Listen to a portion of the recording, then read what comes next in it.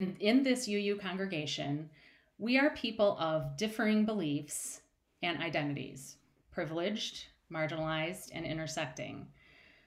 We believe in celebrating our theological differences and our philosophical differences.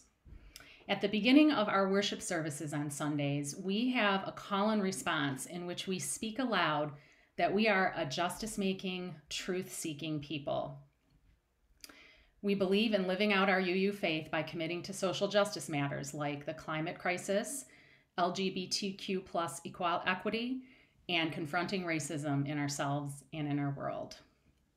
And this is where tonight's topic comes in. On June 24th, the Supreme Court of the United States issued its decision in the Dobbs versus Jackson's Women Health Organization case, which overturns Roe versus Wade upending nearly 50 years of access to abortion. In telling you why we're here tonight and where BUC comes in, I want to quote parts of a statement by Reverend Dr. Susan Frederick Gray, president of our Unitarian Universalist Association, regarding the court's decision.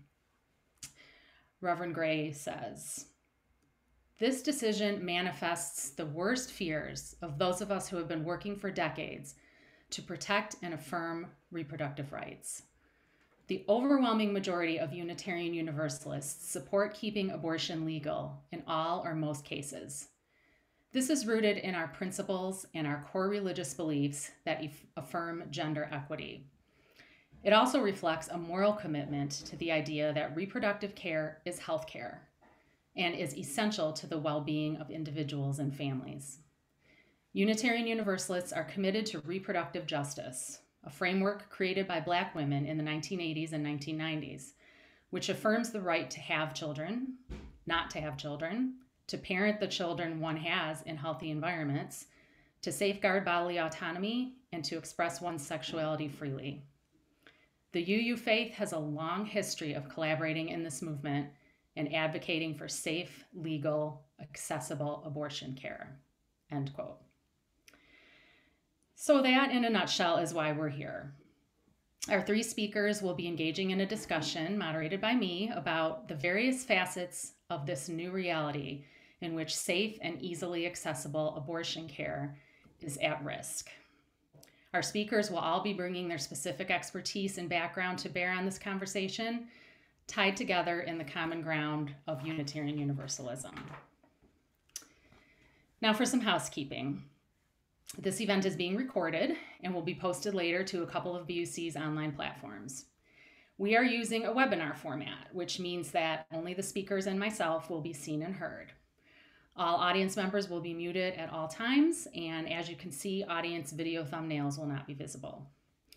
Chat is disabled, but during the Q&A portion of the event, audience members will be able to submit questions via the Q&A box.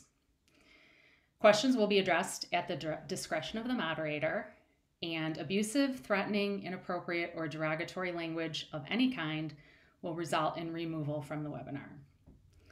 Speaking of language, I also want to mention that this is a topic for which the use of inclusive language comes into play.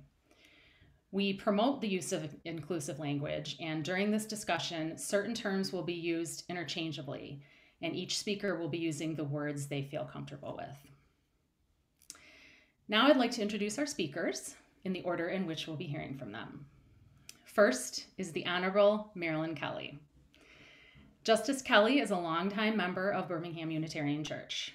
In her career, she served as a justice on the Michigan Supreme Court for 16 years, and before that was a judge of the Michigan Court of Appeals. Earlier, she was in the, in the private practice of law and a teacher of French in the public schools. Today, she is the Distinguished Jurist in Residence at Wayne State University Law School, where she has established a scholarship for students interested in public service law. And she teaches a class in Access to Justice aimed at encouraging graduate, graduates to serve those not able to access or afford legal help. Welcome, Marilyn. Next up is Julia Pulver. Julia is a lifelong UU, political activist, and registered nurse. Julia graduated with her Bachelor of Science in Nursing from Western Michigan University with a minor in biology. Julia earned her Master of Science in Nursing with a specialization in nursing leadership and administration from Capella University. Julia has extensive experience in all areas of healthcare, including intensive care units, hospital administration, value based reimbursement, quality improvement, and public health policy. Julia is the co founder and managing partner of HPS Consulting LLC, a healthcare consulting firm based in Detroit. Our third speaker this evening is the Reverend Mandy Beal. Reverend Mandy is the senior minister of Birmingham Unitarian Church. She is convinced that human life is sacred and bodily autonomy is a prerequisite of justice. She is deeply grounded in the belief that liberation and salvation are interchangeable terms. Furthermore, both exist only in the realm of the collective, not as an individual status. In other words, there is no salvation for one if there is no liberation for all. Welcome to our three panelists. With that, we are ready to begin our discussion, and I'll turn it over to the Honorable Marilyn Kelly to start us off. Thank you, Sara. I'm going to say a few words about the state of the law in Michigan today, now that Roe has been struck down, for the purpose of laying a foundation for the rest of our discussions tonight.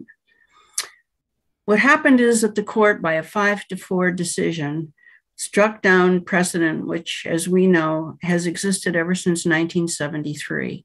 It's significant that the decision was a bare majority. Had only one of those five chosen to go the other way, Roe would be alive today. It's significant also that the Chief Justice, Justice Roberts, a conservative justice, did not vote to strike down Roe v. Wade and cautioned and urged his colleagues on the conservative end of the court to go with him in exercising what he said was judicial restraint. And he said we should decide only the issue that's before us, and that's the constitutionality of a Mississippi 15 year abortion ban, and not go beyond it and talk about Roe v. Wade at all. Wasn't necessary, he said, to resolve the case, and judicial restraint would require that we not go beyond it. Um, but obviously they did. And in so doing, overturned precedent. Now, let me say a few words about precedent.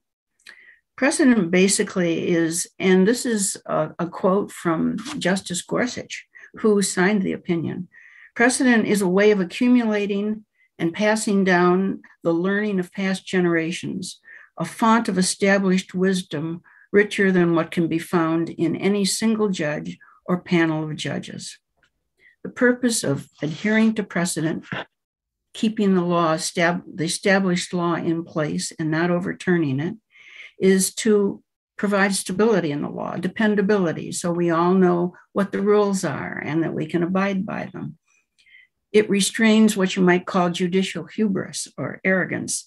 It encourages respect for the law um, by justices on the court um, for, for law that was established by past justices on the court. It reduces endless litigation challenging precedent.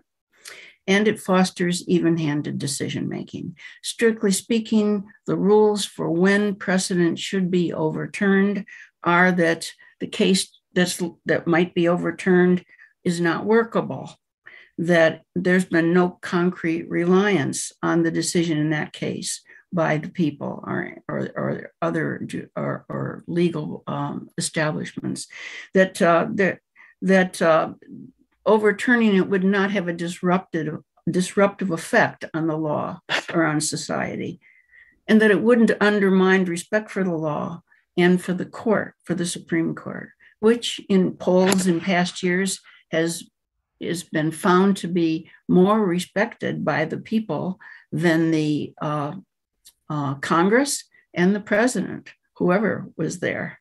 Um, it'll be interesting to see what the next poll shows with respect to public confidence and respect for the court. In any event, Roe and Casey were overturned. And where does that leave us then as to the state of the law in Michigan regarding abortion? Well, we've had a law on the books since 1931 which actually was based on a law that was passed in 1846, which makes abortion illegal in Michigan. And uh, it would have been in effect all these years, was it not for Roe v. Wade.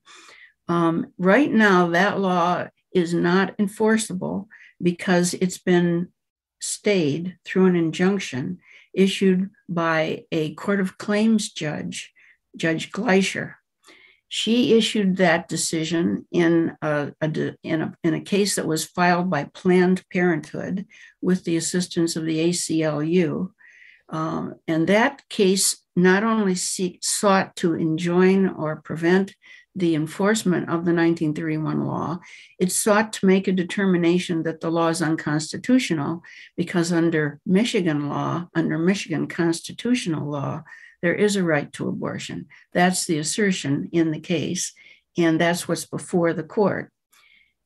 At the same time, interestingly, that this case was filed by uh, uh, Planned Parenthood, another lawsuit was filed, this time by the governor of the state of Michigan, Gretchen Whitmer.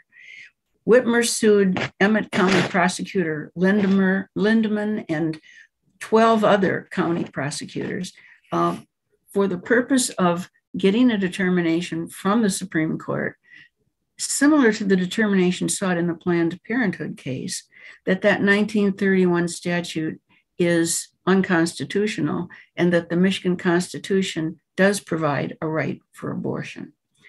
It's um, interesting that some prosecutors have actually sided with Dana Nessel in insisting that they will not enforce the 1931 law, even if it does become viable in Michigan. Of course, we can't depend on that happening. And there are 83 counties in Michigan. Everyone has a prosecutor, and other prosecutors have been silent on what they would do if that 1931 law went into effect in Michigan. So um, we have a situation where the Michigan Supreme Court ultimately will be deciding the constitutionality of that law and also whether the Michigan law provides uh, uh, the right to abortion. We don't know when the court will act on that. It could be that it that it will act on it within coming months. It could be that it will wait until after the general election in November. Um, and all the while that this is going on, we have a third matter underway in Michigan involving, involving abortion, which is not before the courts, but involves a people's initiative to amend the Michigan Constitution and to hold, and these are the words that are used there every individual has a fundamental right to reproductive freedom, which entails the right to raise, to make and effectuate decisions about all matters relating to pregnancy, including but not limited to prenatal care, childbirth, postpartum care, contraception, sterilization, abortion care, miscarriage management, and fertility care. And it goes on to say that in no circumstance shall the state prohibit an abortion that, in the professional judgment of an attending healthcare professional is medically indicated to protect the life or the physical or mental health of the pregnant individual. You should note that there's no provision to protect a woman whose life is, uh, unless her life is at danger. There's no provision to protect her under the 1931 law uh, if she was made pregnant through a rape or an act of incest. That initiative is very likely to be on the ballot because there's been such a strong groundswell to support it that it now has turned in, I think, over 200% of the, of the, of the signatures necessary to validly uh, pass muster with the, um, with the certification board. Uh, I think it, it will be challenged and heavily opposed, but I think we're going to see it on the ballot in November. And of course, if that happened, then the constitutionality of abortion in Michigan would be exactly where it was when Roe v. Wade was alive, except it will only pertain to Michigan, of course. Uh, it will be as if we were restoring Roe, but with more actually in it, as I read to you, uh, than even Roe had at the time that it was overturned. So it makes for a very interesting situation. And uh, I think we're going to know by the end of the calendar year for sure whether abortion is legal in Michigan uh, whether we have the right to it under the Michigan Constitution, uh, whether that 1931 law is valid or invalid. Um, we're going to know whether it's a felony to perform an abortion in Michigan, which would be the case under that law, a four year felony, or a misdemeanor to provide drugs uh, or to sell them or to even advertise them, providing a year in, in jail uh, under that 1931 law. Um, I think that also relevant to the state of law in Michigan uh, is the fact that we're going to be electing new state legislators in November uh, with uh, under districts that are not gerrymandered. Now we're going to be electing two justices of the Supreme Court. All of those people can have effect on what bec- the law becomes in Michigan on the subject of abortion. So I'll cut it short there and go back to more of this as we continue our discussion. Thank you, Marilyn. Uh, we're going to go to Julia now for some uh, remarks about the healthcare landscape. Thank you, Sara, and uh, thank you to my fellow panelists and everybody who is joining us. I'm glad to see we have quite a bit of uh, uh, a long list of attendees. Um, I really just want to drive home uh, the fact that when politicians write healthcare law, they do so based on a sort of fantasy they've concocted in their head of what it is that they're actually doing. And, you know, all of the rhetoric, all of the wording, everything that we have seen so far, um, you would think that the only only things that are being impacted right now in a post-Roe America um, are that abortion clinics, like standalone abortion clinics, are shut down. And that's it. That's the only thing. And then maybe you have some a harder time uh, you know, getting a medical abortion, um, you know, getting those pills prescribed to you if you live in a in a dangerous state, um, or that. Uh, you know some something very far away that it's happening um, and and like many things if it doesn't directly involve you you don't really quite grasp it um, and that's exactly what's happening right now we are living in um, what seemed to be like a game of chicken between uh, the Supreme Court and now between state uh, legislatures and the medical community. And it's nobody, you know, the, the, they just crashed. And we are in this very chaotic moment. Um, and, and that is leading to a very, very dangerous place for everyone, um, regardless of your status as um, a patient who would or would not be seeking uh, specific uh, abortion care.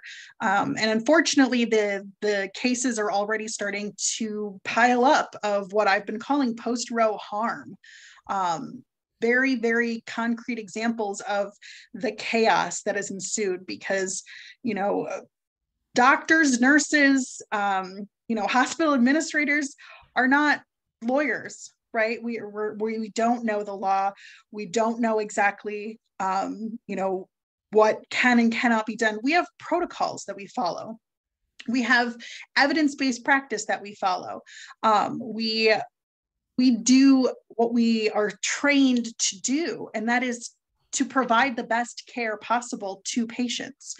And now, depending on what state you live in and what state you practice in, you're being barred from doing so. Um, and, and we're seeing very real cases, um, you know, especially with ectopic pregnancies. I think you've heard probably a lot about this.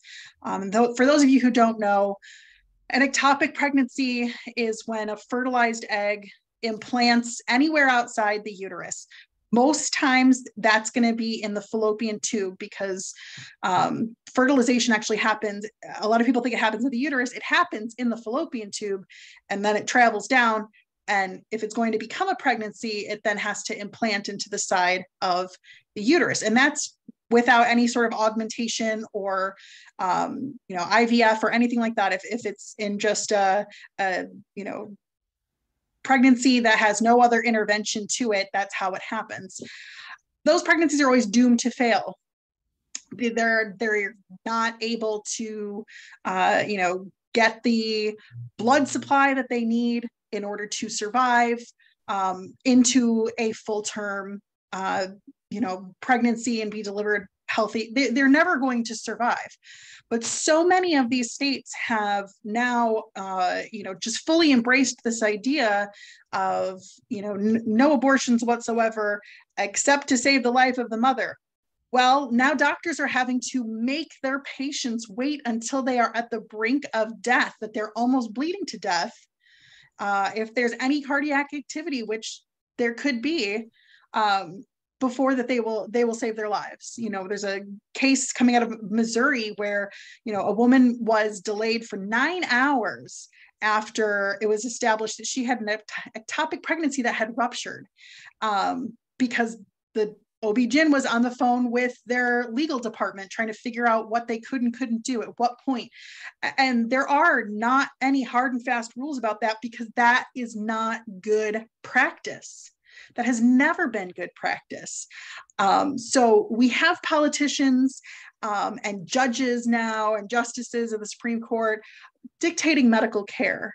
Um, and, and that is leading to very real harm. And, and it's also just, again, putting an enormous strain on our already strained healthcare systems. I don't know if you guys are old enough to remember, but there was like this big pandemic that went around a couple years ago um, and hospitals and hospital resources were already pushed to the max. And now we have thrown another wrench into uh, standard operating procedures by forcing providers in all states, not just the dangerous states, the safe states now are the ones that are having to receive those patients. They're having to find room for those patients. You know, providers in Illinois are having to take patients from uh, Missouri and Iowa and anywhere else where they, you know, can't get a safe abortion, or if they can't now, they will very soon because every Republican, you know, or anti-choice politician is just salivating at the idea of making their state the most hard line. And, and all that equates to is people being hurt and getting denied the care that they need.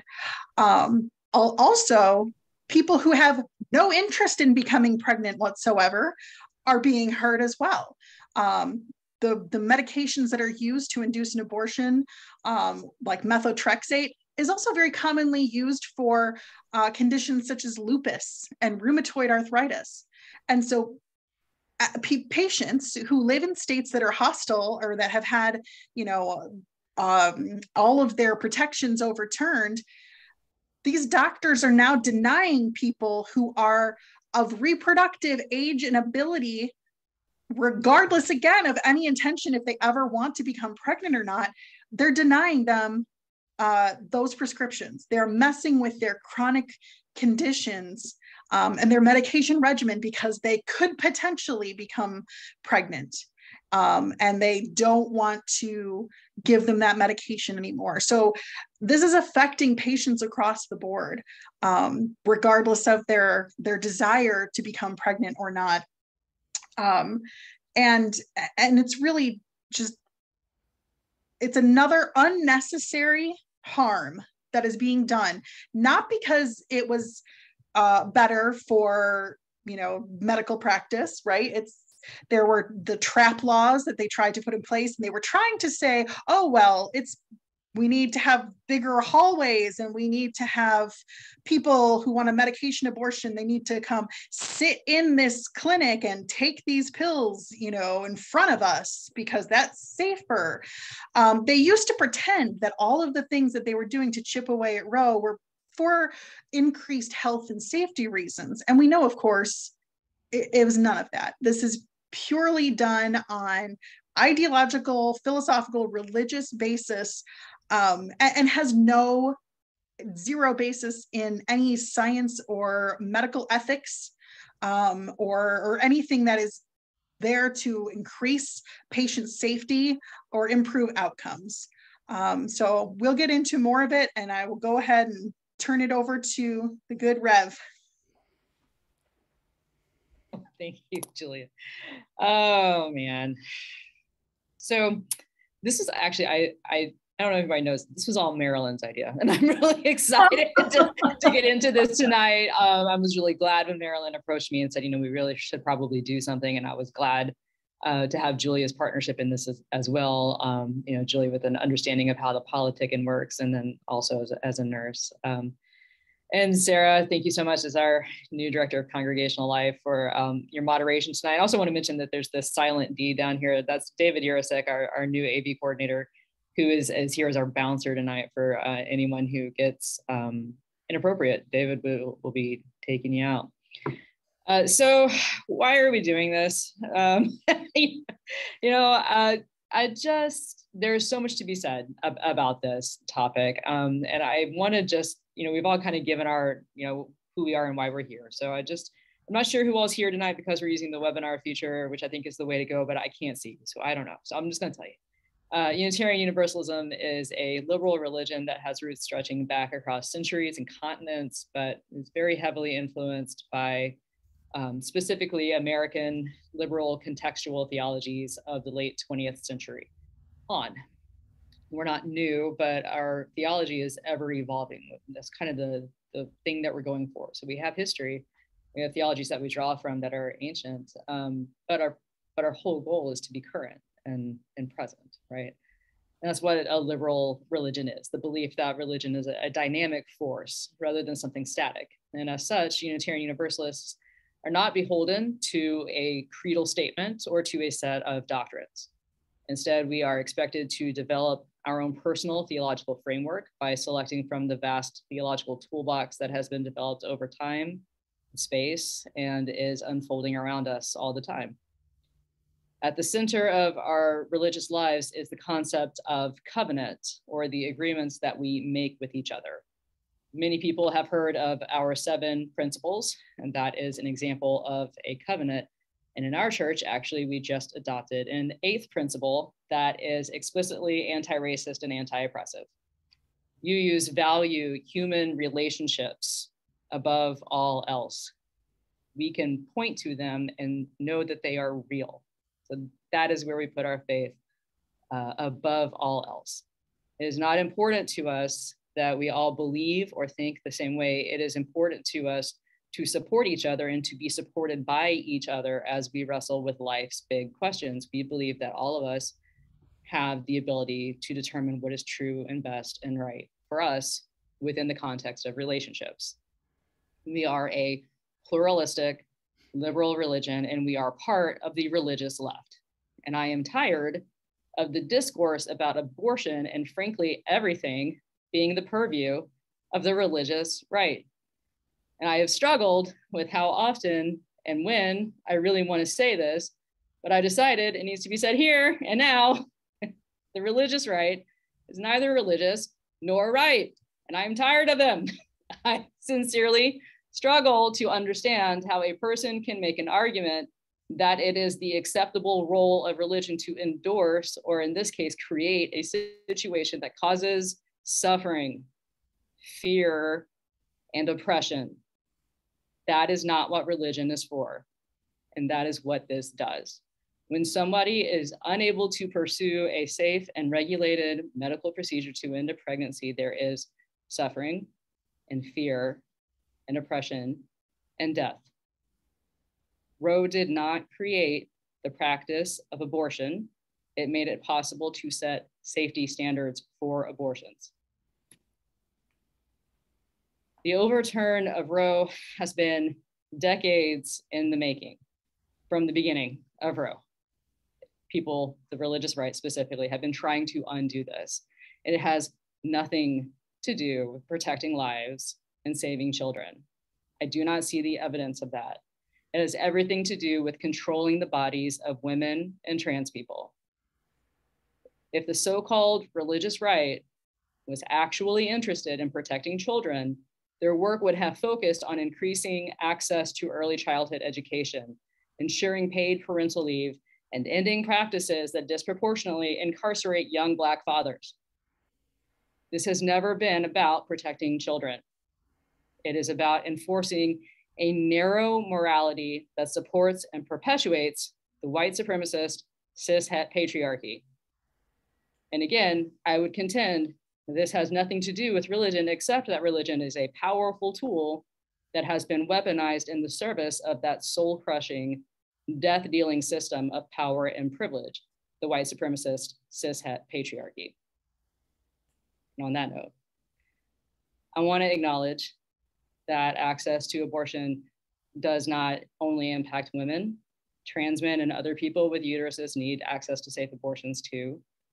The case law that was built on Roe gave us same sex marriage, and that is at risk, as are the rights of trans people seeking gender affirming therapies. And the overturn of Roe does disproportionately impact women, especially at this juncture right now. But the thing is that we're all connected. All of humanity shares a common origin and we share a common destiny. We come from one place, we go to one place together. Not just one group of us, all of us together. And under the tyranny of the cishet patriarchy, we are all losers. It might be politically convenient to subjugate women and the queers and the trans folks, but in a worldview of only a narrow few are chosen, nobody wins. It just gets more and more narrow till nobody gets in. And the idea has been wrapped in the trappings of a distorted theology and called a religion, but it is a lie that there is some chosen few. It is a dangerous lie. And I just can't abide it. as a person of faith and as a religious professional, I will not sit idly by and let that nonsense have the mic. I can't. We all have worth and dignity and love we all deserve to be loved and to be cared for. And it is our duty to create a world that encompasses everyone, where all people know that they are loved and respected and cared for. And that begins with bodily autonomy. We can't have any of that if we do not have the autonomy over our own bodies. So that's what I am here to talk about tonight. I want to talk about all the things, but that is the thing that I am most interested in, in talking about. You know, it's this idea of like who who gets to have autonomy and who gets to make decisions about their bodies and how we distribute power and the way that we wrap that up in religious language. I'm ready to just uh, you know kind of burn it all down intellectually, and I'm really excited to uh, have this conversation here with my partners. Thank you. Thank you, Reverend Mandy. You you could not have segued more perfectly into the question I'll be asking. The first question I'll be at, I'll be posing for this uh, next segment of our discussion. So we're going to spend 30 minutes now, uh, where our three panelists are going to have a discussion framed by um, some questions that uh, they have come up with themselves, and also some questions that have been submitted by. Um, solicited from from attendees here at the webinar. Um, so the first question is um, so Reverend Mandy has just been speaking about the influence of religion um, on abortion. And so some may be thinking, well, yes, religion religion has a, has a big influence on abortion. So then why is abortion a legal matter? and shouldn't it be an individual's decision to make and um, so this this gets into areas of, of the separation of church and state so i'm gonna um, start with uh, with marilyn go to marilyn first for comments on this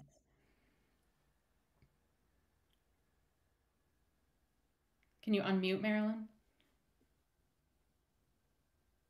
sorry well, you're right. Separation of church and state is at the basis of this question.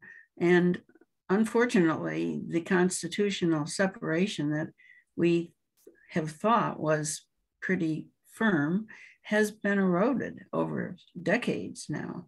And we're seeing more and more religious type decisions being brought uh, into the law and into the courts, uh, and uh, the use of public money being used in religious organizations.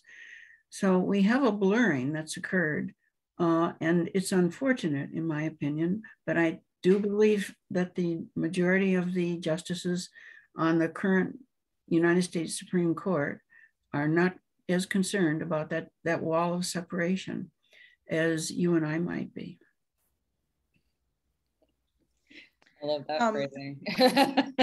Well, and I'll just add people's religion plays a huge part in all of their medical decisions, especially big life medical decisions. Um, every uh, religion has rules um, that some people follow to varying degrees about death, right? About whether or not they believe in euthanasia, whether or not they want last rites, whether or not they want to be organ donors, whether or not they want to accept blood products or if they want to um, you know a- anything. Uh, people's religions their their diet right? Their uh, it, it just really it plays a factor in, everybody who has a religious belief that they hold dear.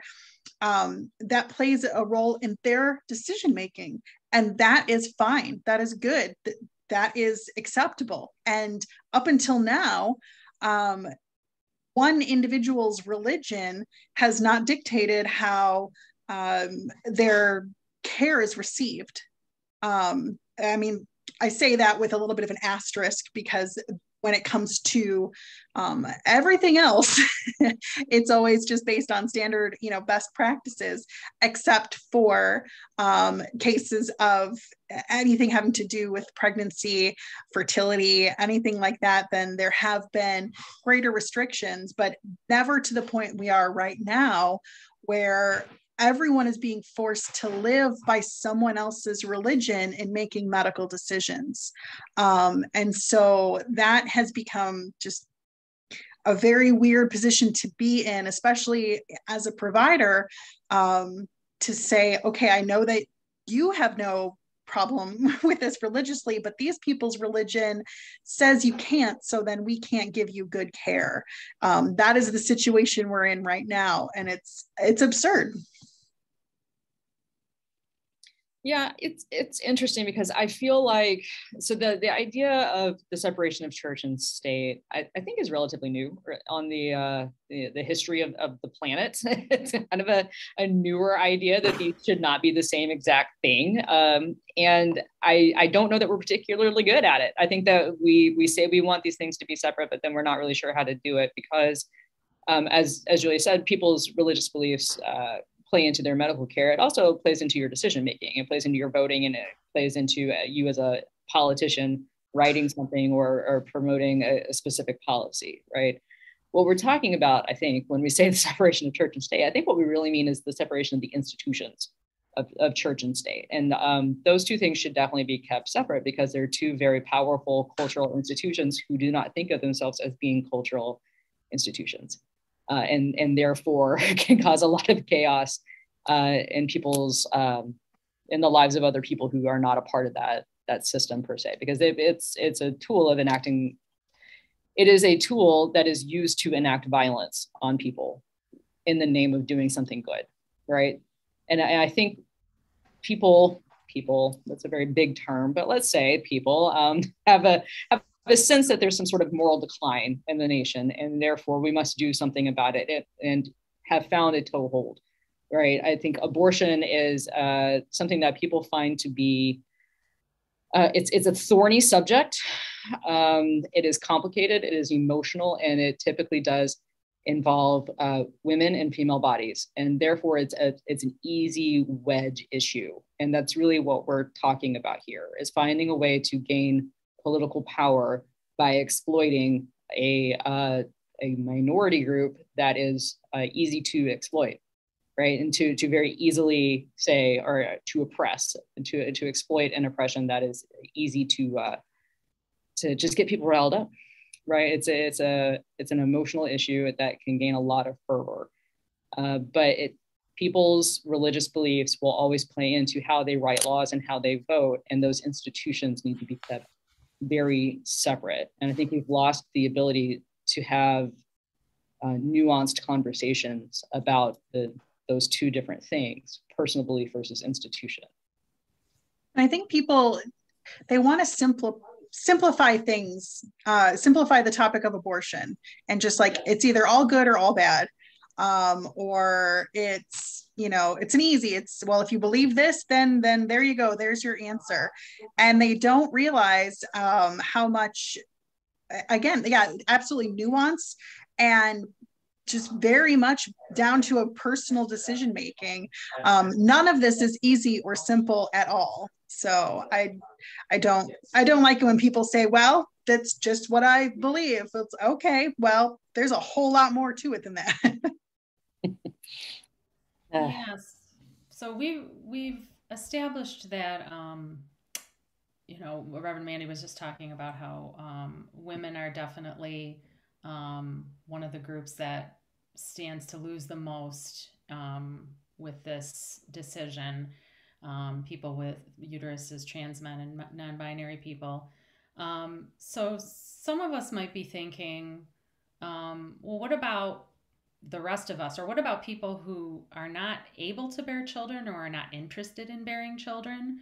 Um, why should people who are, you know, don't want children or, or can't have children, why should they care about the loss of Roe versus Wade? And Julia touched on some of this, um, some of the the far-reaching effects of the decision in healthcare. Um, but I'm wondering if we could um, go to Marilyn first for a little bit on this idea of what why should why should those uh, people who don't want to bear children um, care about this this law being overturned?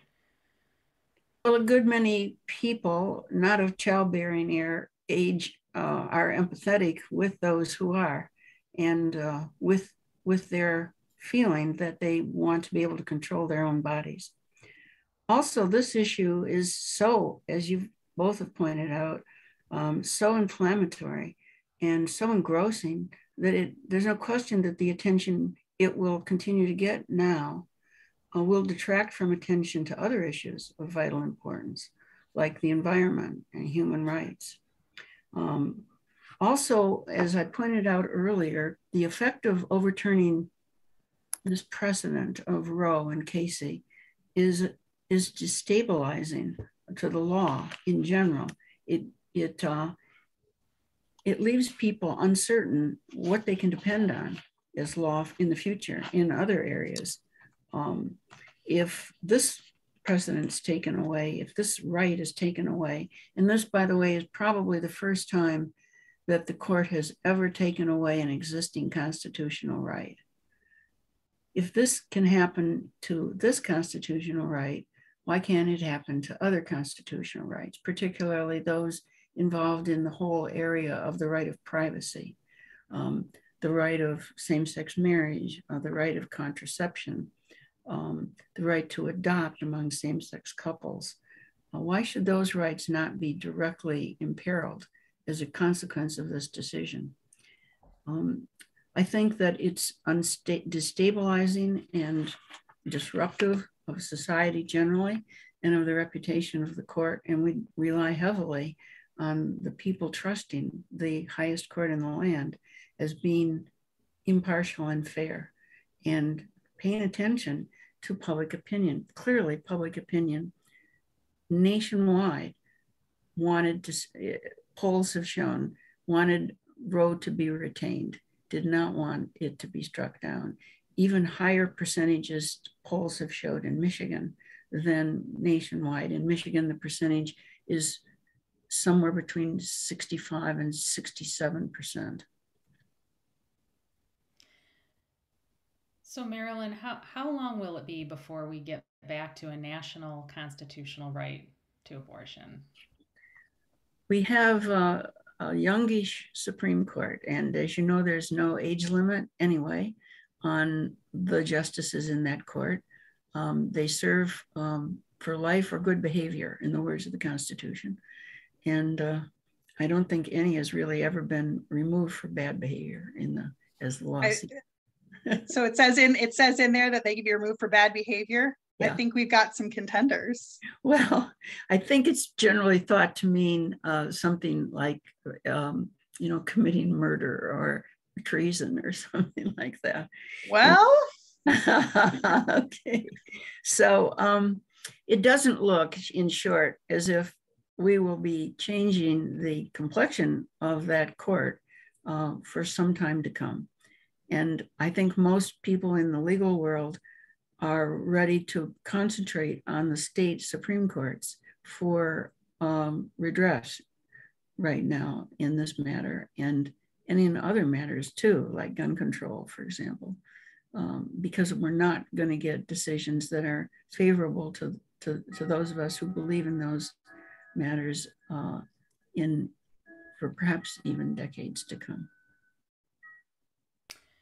So one more, uh, while we're on that subject, one more um, question for Marilyn.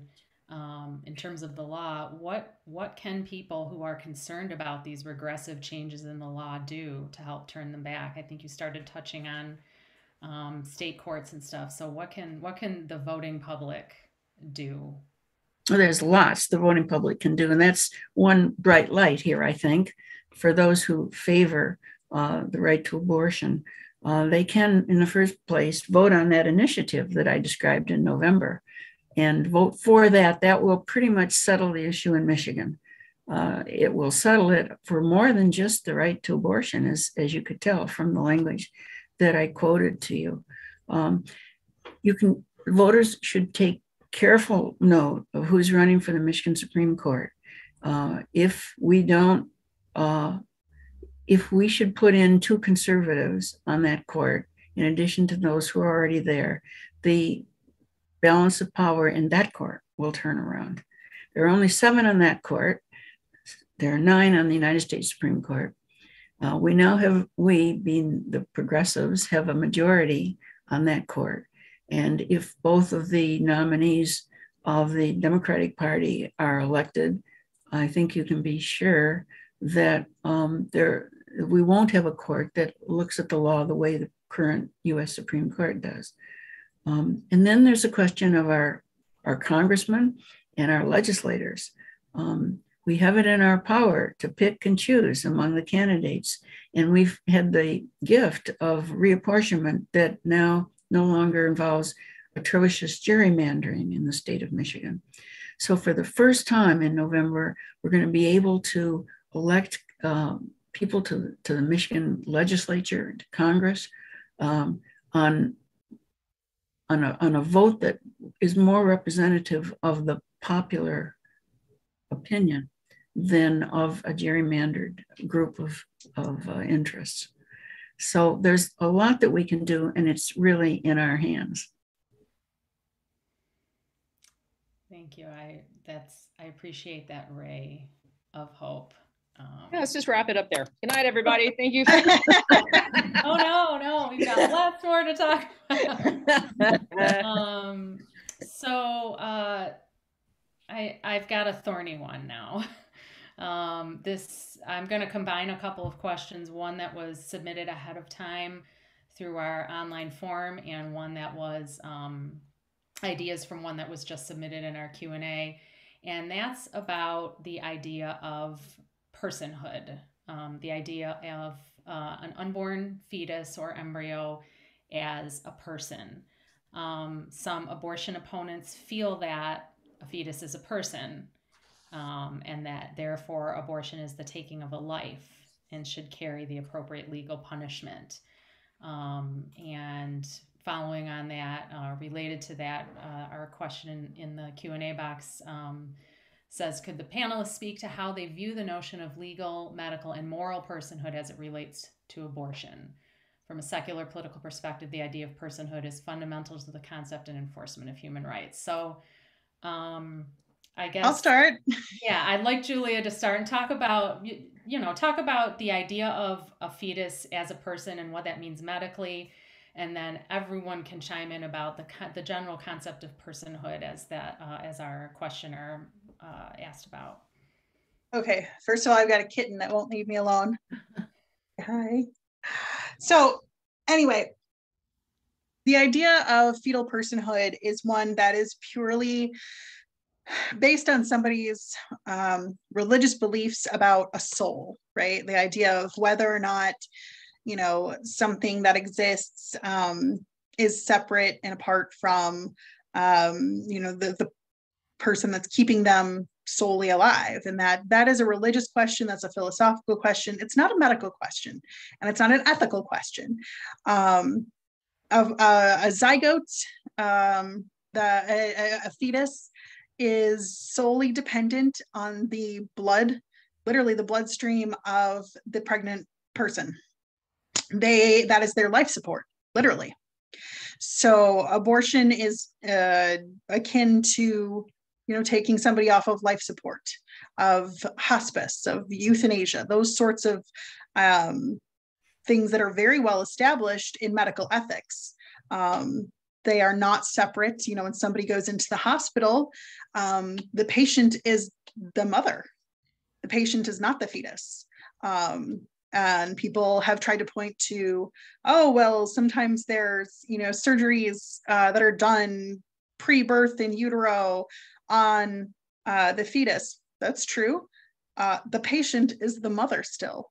Um, you know the the case for personhood is not a medical one it is not um, based on anything again other than the idea that um, that a zygote, an embryo, a fetus, um, is is its own unique individual um, with some sort of soul or some sort of was was created by some other higher power to be there. Um, and and again, if that's your personal belief, then great, that's going to factor into your decision making. But if it's not, um, there is no reason from any moral or ethical standpoint um, that you know somebody would not make that decision um, to say look i i i do not want to continue giving my lifeblood to uh, this growing you know zygote fetus um, because i either choose not to or because it's the kinder thing to do. Um, be for for whatever reason there's you know there's so many different uh, thoughts and feelings surrounding uh, the the ending of any kind of life support. But generally it comes down to you know the the enemy is not death it is pain. It is suffering. Um, and so many times you know the, the decision the key decision that comes down to it is it is a kinder thing to do um, to take that fetus off of your life support um, than it would be to either continue on um, with that pregnancy, have that delivery, um, and then you know deal with whatever negative consequences you were concerned about. Um, and and that is that decision should be up to every individual to make of whether or not um, they want to continue providing that life force. Um, the idea that that that a fetus is uh, essentially a zygote, multi-celled organism, um, is its own separate and unique person apart from um, the the pregnant person is, is nothing is not based in any sort of realistic um, you know basis other than a religious one and again that's the reason why we should not be making um, any decisions for other people about their bodies based on our own personal religious beliefs.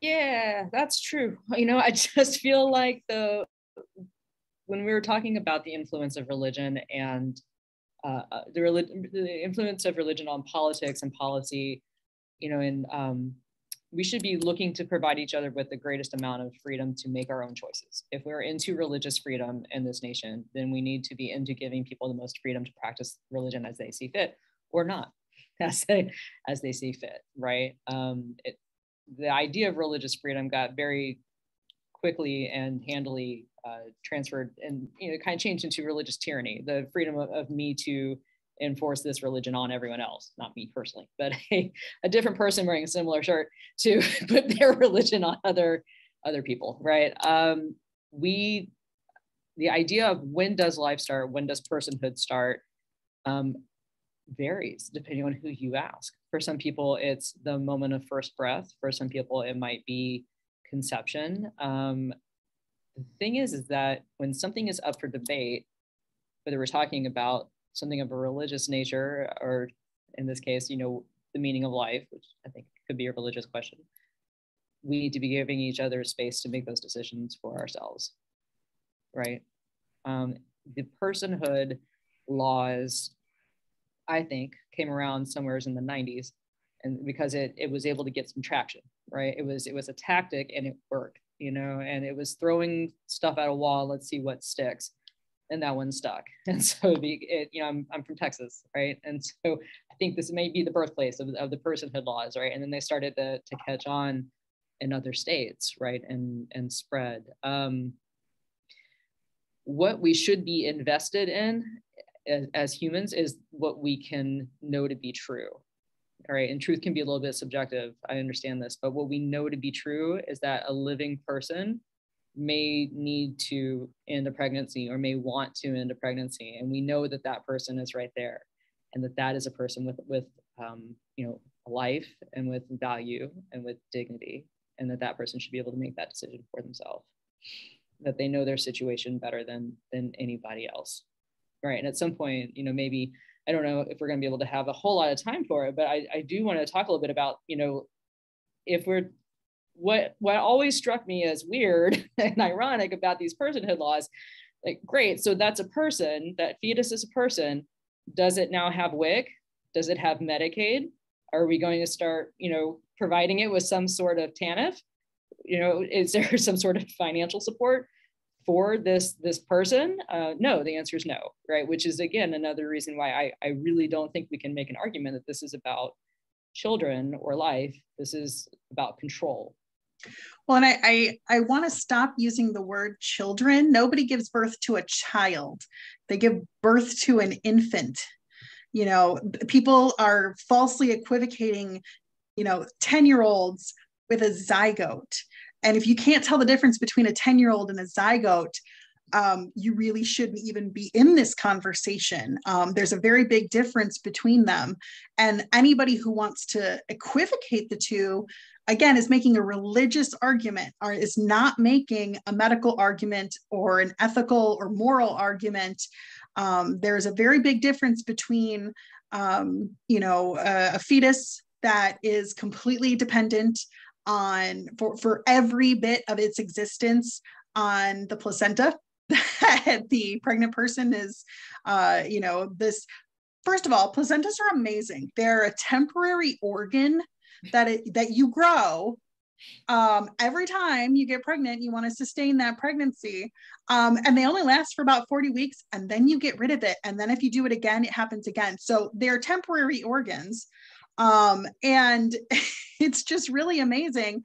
Um, I'm, I'm a big fan, by the way. You know, I have four kids. I've been through this quite a few times.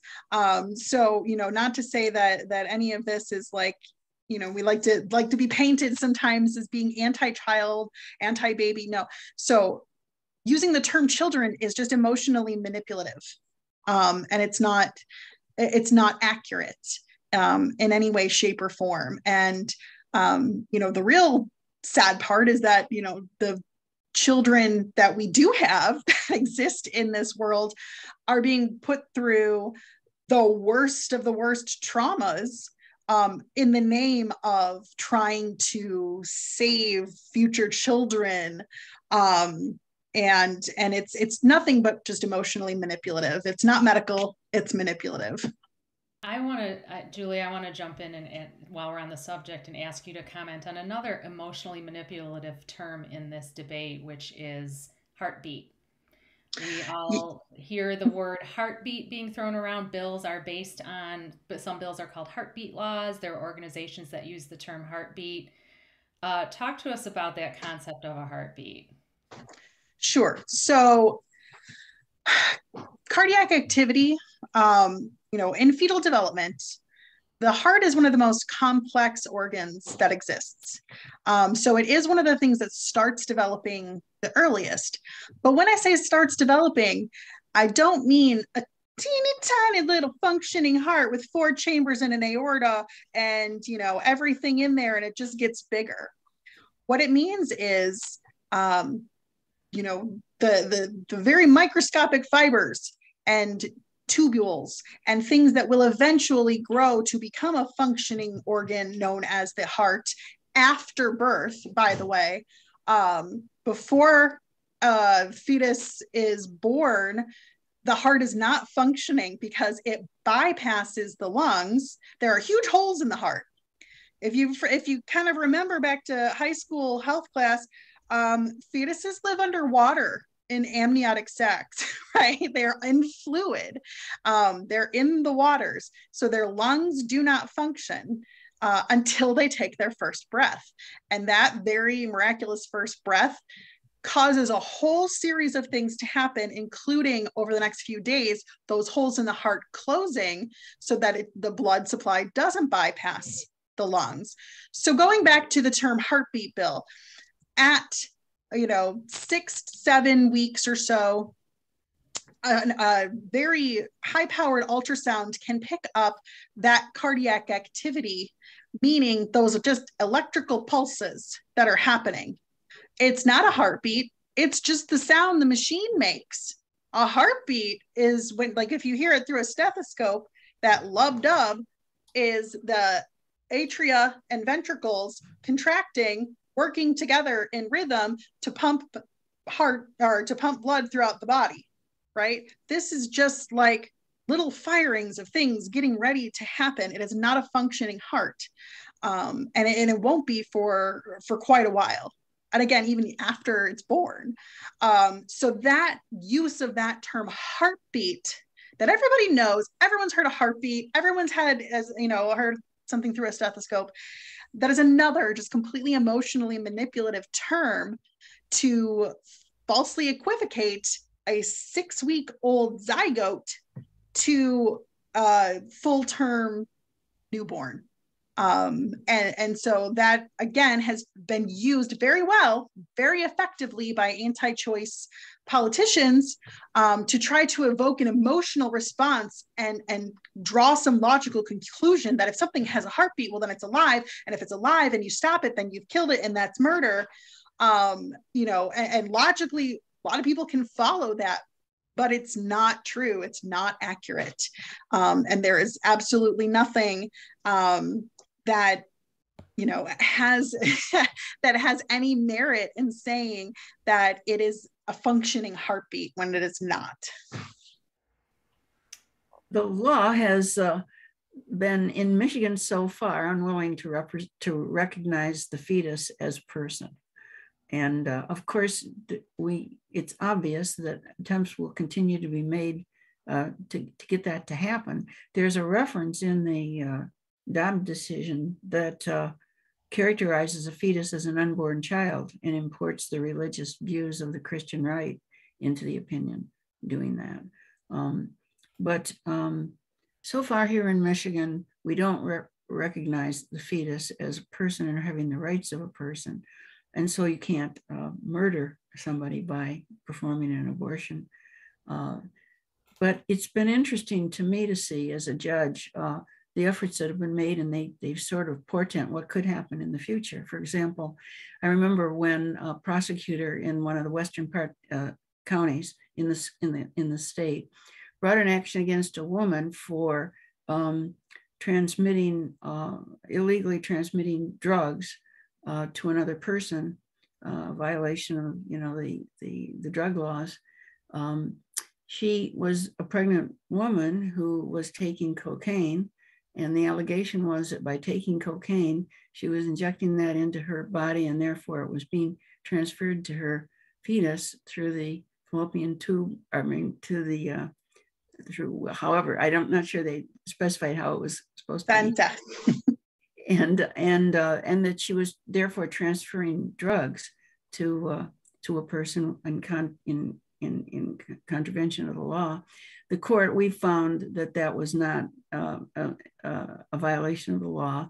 And of course, it was based on the premise that she wasn't transmitting a drug to a person.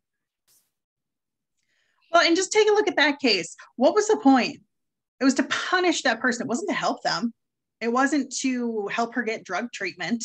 It wasn't meant to do anything other than to punish her for being a drug addict that's it well you know say, you know and to say well here's this like deplorable situation and then to create some case law based on it right? You know, like make it worse. Let's yeah. see how far down we can punch. And you know, we can punch down three times here. We got a, a woman who was using drugs while she was pregnant, right? And then we can use that then to build up some case law for for later for Jesus. I just like it's so diabolical. I'm sorry. I just like I just I find it so infuriating that there is so much um careful decades long sneakery going on so that there can be a moral high ground by somebody. It just it it feels like there are actual problems in the world that could be solved. Like if we could get that type of conniving mindset onto, you know, poverty, maybe we could create some good in the world. Um, and it's a problem with, you know, anybody who is drug addicted and pregnant. Um, you know, I, w- I worked in the neonatal ICU for years. I have taken care of dozens and dozens of babies who were born addicted to everything, you know, and the you know drug addiction knows no um no limits. I mean people who you know otherwise looking at them you would have no idea that they were addicted to opiates the entire time that they were pregnant. You would have no idea that they were addicted to cocaine or amphetamines. Um, and and in some you would say okay that tracks you know it, it it really it's an equal opportunity issue. And the answer is not to you know either legislated away or or you know litigated away. Um, it really comes down to the overall you know arc that we have the problem of substance abuse and addiction um, because it affects everyone and people who have substance abuse problems get pregnant. And sometimes it is safer to keep them on those substances that they are chemically dependent on than it is to tell them to stop cold turkey because that can have even more devastating effects. Um, and so it's it's again it's it's just punitive. It is not meant to help better any situation. Um, it is just meant to punish so we have a little less than 20 minutes left uh, before we're going to want to wrap up, and we are in into the portion of the discussion. We had set aside this last portion to take questions from the Q and A box. So there there are a few piling up, so I want to make sure um, I make space for those. And we have this sort of segues into what we were just talking about about personhood. Um, we have a question that asks, "What about the unintended consequences of this, this decision? If the zygote is now a person?" Can it be an instant tax deduction for the mother? So Reverend Mandy um, commented on that. Can states now mandate vaccines for all and remove choice from that issue? Um, and then the second, there's actually a, a so that's that's more. I think we've kind of talked a little bit about that, um, but there's two more kind of questions in this submission. What about the idea of increasing the number of justices on the Supreme Court? Is that a possible solution? And uh, speaking of language, how do we take control of it back from the Republican narrative? So um, maybe, uh, Marilyn, maybe you can comment on the increasing number of the justices on the Supreme Court, and then um, maybe Reverend Mandy, you can talk about taking back the language since you were talking about the religious left earlier. right. Uh, increasing the number has been uh, often termed court packing. And I think we we saw it uh, seriously considered during Franklin Roosevelt's second term in office when uh, the Supreme Court was routinely turning down his, his proposed legislation uh, to try to enforce the New Deal uh, and put it in effect. And at a certain point, he became so frustrated with this consistent uh, uh, rejection by the court of his New Deal legislation that he threatened to add justices to the court in such a way as to overwhelm the numbers who were voting against his New Deal legislation. Um, ultimately, that effort failed. Uh, but interestingly enough, before it failed, the court turned around and stopped and stopped rejecting the New Deal legislation that he was that he was putting before Congress. So although court packing didn't work, uh, it did seem, it, it certainly did seem to influence the sitting justices on the court with respect to their views on certain matters. I suppose a threat to pack this court could work out that same way. Um, and the fact is, if we look back in the history of our Supreme Court, it hasn't always been nine justices. Uh, it's been a, a, varying number over a period, uh, the, a long time ago, and uh, it could vary again. There's nothing sacrosanct about nine, although there have been nine for a very long time. And I think the general the general feeling among people in the legal community is that court packing would be a bad idea because it would be again a destabilizing effect on the on the whole system. So I'm I would be very surprised if the president were able to um, force it through. Uh, however, the people would have to vote on it. I think that it's unlikely that it would happen. What if you just took out the last two in? Can we just go down to seven instead of trying? Is that bad? no. so, Reverend Mandy, what about um, the so narratives? Language, the language notion about taking taking control of this narrative back from the Republican, conservative, anti-abortion side. Yeah. Yeah, you know, and I just also I don't want those things to all be the same right like i miss i miss the republican party as it as it was you know i i, I miss a party that was interested in um you know conservation over conservatism um so like i i would kind of like for the the reclamation of that to uh, to happen um and move away from being so extreme um and i i think that's part of it right so i think it's important for us to be very careful and um, interrogate the language that we use. I appreciate the reframing earlier about child, for example. I had not even thought about that, but yeah, you know, and and think about how we're using words and try to use them with more accuracy. Um, and I think people, based on the fact that this just happened to me, I'm going to say that I don't think people think about it. Right? I don't think that we think about some of the language that's been handed to us. And so having those conversations of you know, so I noticed you use this term and I'm wondering, right? I recently learned you know, etc. And being able to have those conversations, I think is important. Um, the use of language is important. And I also just really want to um, lift up a couple of other ideas. One is that, you know, we don't have to, things lose their power when we give them their proper name. So learning how to use the correct words for things is really important. And then secondly, things lose their power when we tell them that they no longer have power. Right. So um, if if there's a word or a language or a phrase that has gotten away from us and you know is being used in a certain way, and now it will always mean personhood will always mean like we all know what we mean when we say that.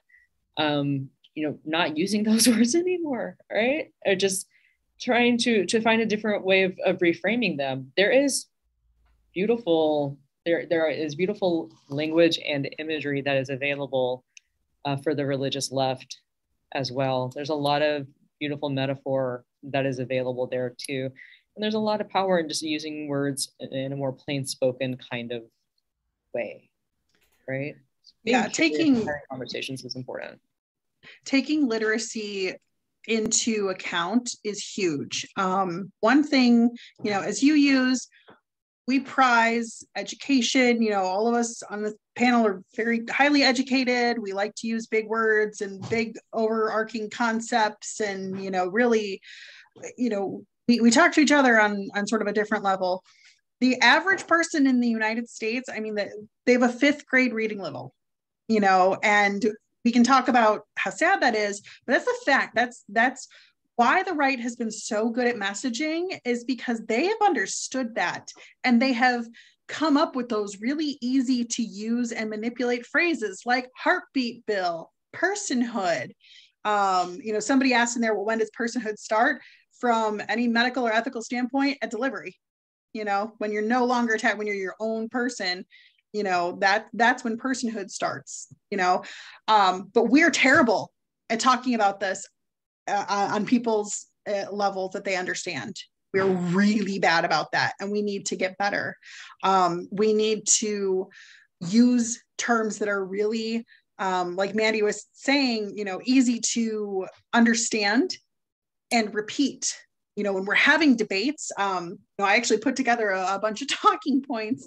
Um, you know, they have they have had these talking points and repeated them and rehearsed them, and and they've they've been doing this for decades and you know I, I, think honestly we've had a failure to respond in any way that is it is concrete that is this on the same level that is, easily understood.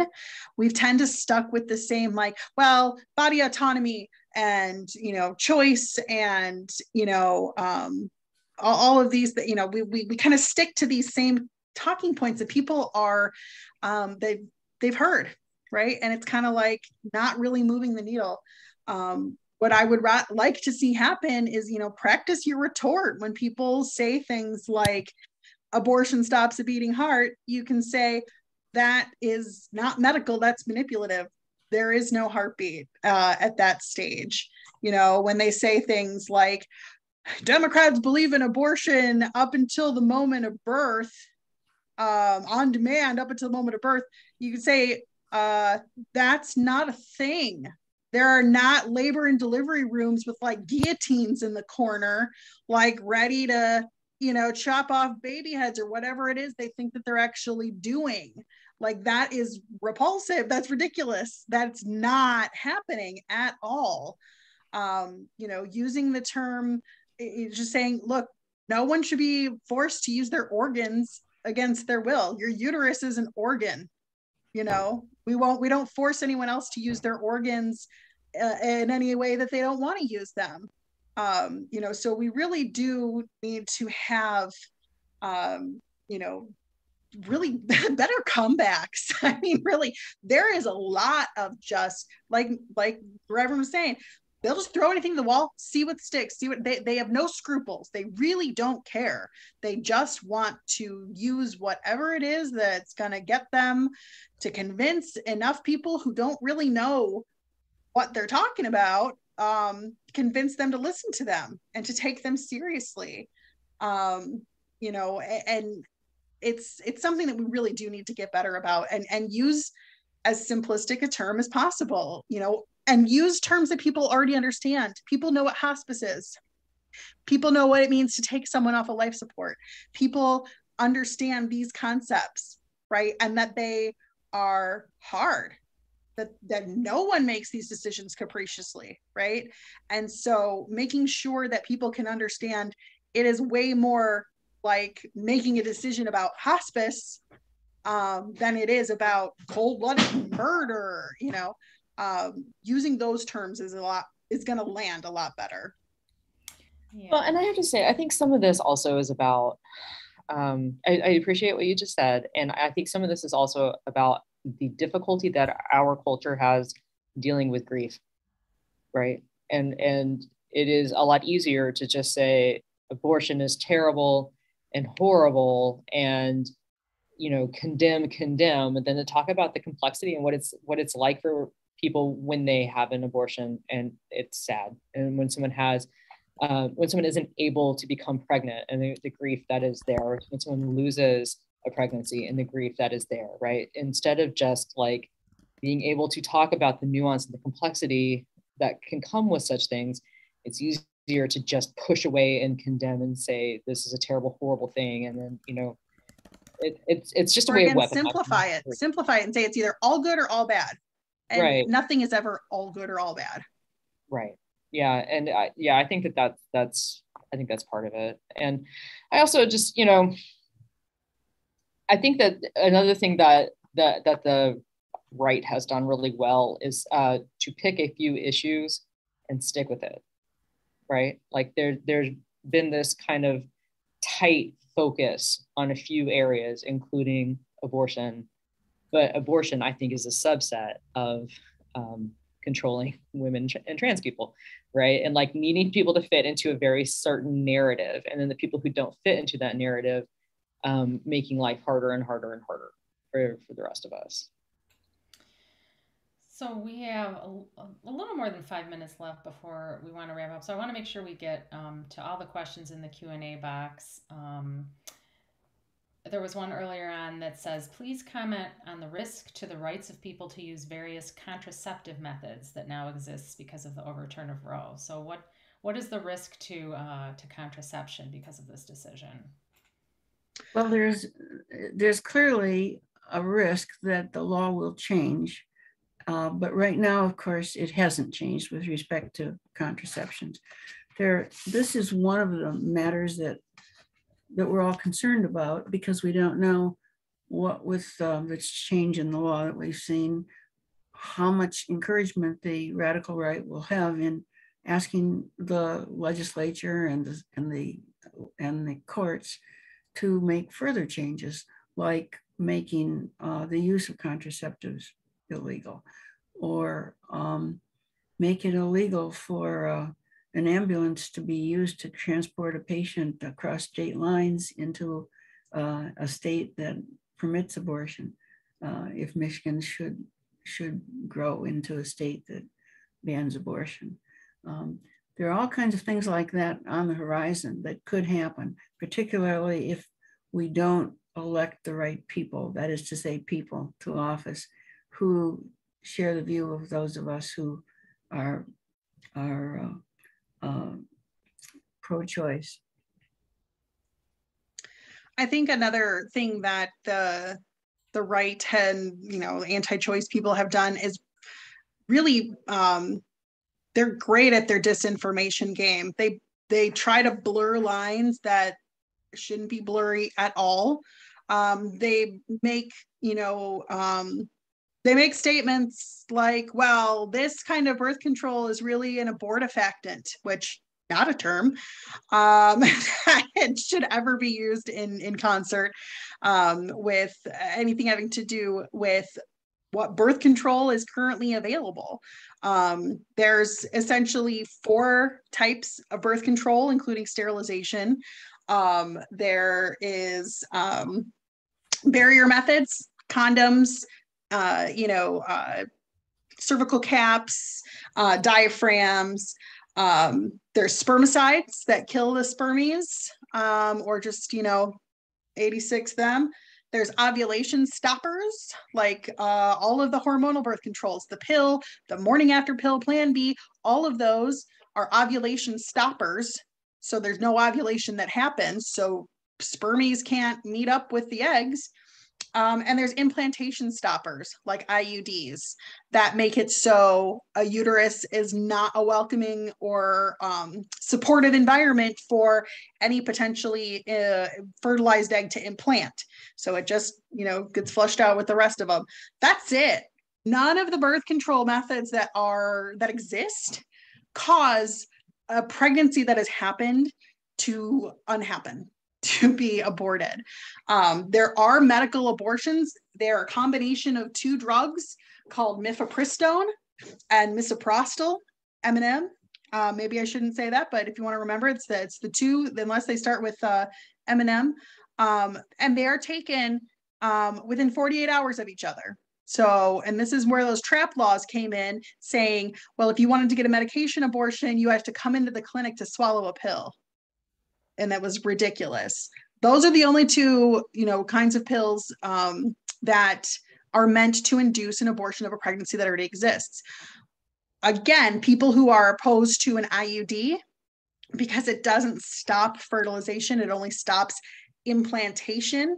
So remember, the spermie and the eggy have to meet up in the fallopian tube and start, you know, separating into multi cells. Um, they go from being that embryo to the zygote. Once it's implanted in the side of the uterus and starts, uh, continue, you know, growing in there. The only uh, objection to that, to an IUD, again, is a religious one because no pregnancy ever starts. Um, but they know that people don't necessarily know all of these things and they have absolutely no problem confusing people you know just saying flat out lies um, because again they want to control what you do with your body. So we've got one last question in the Q and A box, and I think it might be a good one to sort of um, pass to Reverend Mandy, and then Reverend Mandy can um, wrap us up with a pastoral message. So the question is, how can feminist theology help us to understand and respond to this moment? Oh, feminist theology can help us with just about everything. Oh, that's a great question. Um, but the answer is it depends because you know no theology is helpful to us unless it has a personal resonance with us. But you know my my understanding and my use of feminist theology um, tells me that um, there is love and that there is care for everyone, and that there are people who are outside of the systems of power that have been created by humanity. And those are the people who have special favor in the eyes of God. Um, that's really more of a, a, liberation theology perspective, but the two are related, right? Um, the way that the world could be, the world that we dream about was intended to be, what have you, uh, is not a world in which there are some people who have power and privilege and some people who don't. The world that we dream about, the world as it could be, the world as it maybe was meant to be, is a world that is abundant and has enough for everyone, and there's no need to try to convince each other otherwise. We just work together to find more efficient ways of sharing what there is so that all of us are cared for and all of us are loved. And that when somebody uh, breaks those covenants and when somebody begins to try to create systems of power and oppression, then we have conversations about accountability and we name that there was a break in covenant and we talk about how we can get back into covenant together um, because naturally we tend to set up systems that separate us. And so when we start to see that happening, it's time for that conversation of so this thing is happening and needs to stop and how do we get back on track with sharing what what there is? Because there is there is always enough for everybody. And the idea that we need to um, you know break ourselves up into groups where there's some people that have more and some people have less is uh, just rooted in the lie that there's not enough um, but there is there always is. So on that note um, beloved we find ourselves in a situation that's scary and it's upsetting. And we are touched by grief and anger and fear and frustration um, and worry about what will happen in the years to come and the weeks and the months to come. Uh, you know the thing is is that we know how to we know how to deal with a world without Roe because the world has mostly been a, Roe, a world without Roe and then there was Roe for a period of time. Now it's gone. Um, and we we can get it back. And we can do the things that will lead us to a greater justice right? And we have an idea of what that is because our justice marilyn kelly told us that was at the beginning right? Um, we just now have a more clear idea of the work that is in front of us most directly this doesn't actually change anything about who we are as a people it tells us a little bit more about who some other people are and gives us some idea of, of the work that we need to do right? We need to take care of each other. We need to take care of ourselves. We need to get out and vote. We need to work tirelessly and not be daunted. This whole thing is set up to make us feel helpless and to make us feel isolated and disempowered. We can't let them win. It's not true. We're not alone. We're not helpless. We're not powerless. We have each other and we have plenty of things that we can do. We're going to get through this and it's going to be okay because it has to be. We don't have any other choices. We can't just stop. We just got to keep going. Thank you so much for coming tonight, everybody. Yes, thank you. Thank you, Reverend Mandy, for that. Thank you, Marilyn. Thank you, Julia, for the discussion. Thank you to everyone who contributed questions, both um, live here in the meeting and uh, beforehand. Um, obviously, 90 minutes is was you know not enough time to get to everything. Um, so I hope that the discussion was um, meaningful, helpful, um, comforting, but also I hope you got riled up too, because as Reverend Mandy said, it's time to be riled up and we're going to need it and we're going to need each other. So thank you all so much for being here tonight um, and have a good night.